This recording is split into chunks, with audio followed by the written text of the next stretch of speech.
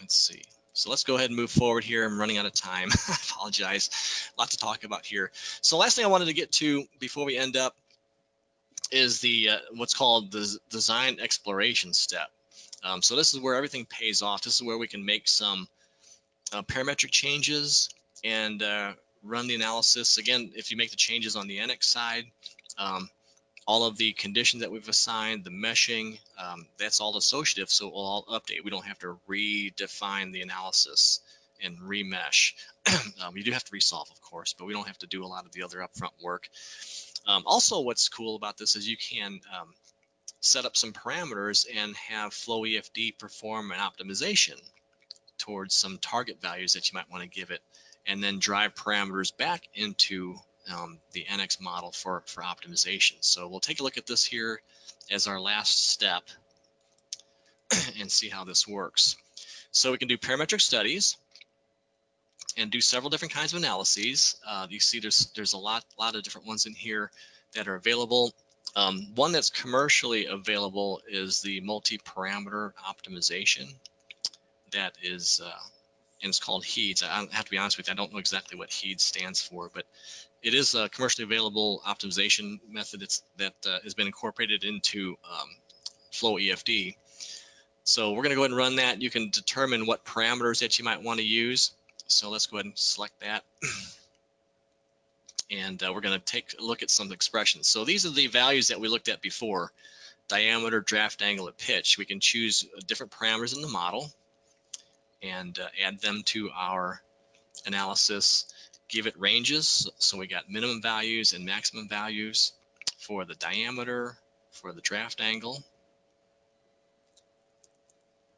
and then for the pitch.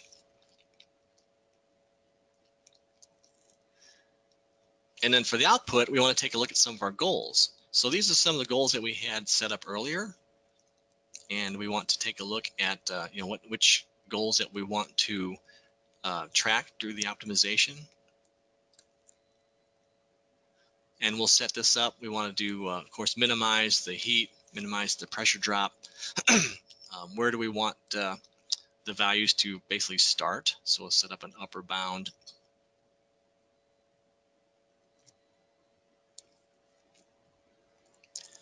And then finally, we'll go ahead and set up the uh, the the iteration. So this is an iterative type of uh, type of uh, optimization. There's some uh, uh, standard algorithms for doing that. We can set up how many calculations that we want it to run through.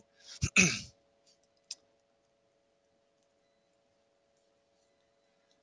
then go ahead and perform the uh, the optimization. So naturally, this takes a little while. These are the results that we have. Um, so you can see it's gone through several different analyses and, and come up to uh, what it sees as the the optimum values. So it actually plots them that you can review this all the different iterations. and uh, so this is the um, heat flux versus the uh, pressure drop. And the one that we're interested in, uh, and there could be more than one. In this case, we've only got one. It's the green dot there. So we take a look at that green dot, that's the optimum condition. Um, so we can take that, and if we go over here to, you can see the values, this is the optimum condition right here. We can actually feed that back into the assembly and have it update. So now we've got a much denser arrangement of pins. They have a, a, a slightly different draft angle. and if you take a close look, again, for those of you that are familiar with NX, um, it actually uh, did a save as. It copied the assembly.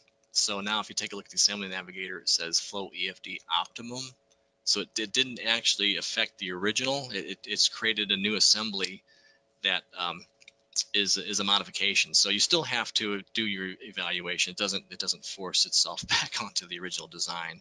Um, you still have to uh, to take a look at that and see if that is truly acceptable. But um, but it does backdrive the uh, the the 3D model, and it gives you that uh, that answer.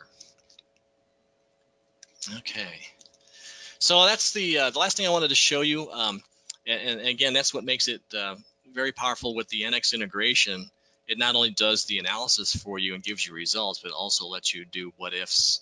You can do uh, uh parametric changes to the assembly, rerun the analysis, or or make use of some of the optimization tools that are within uh, within uh, FloEFD.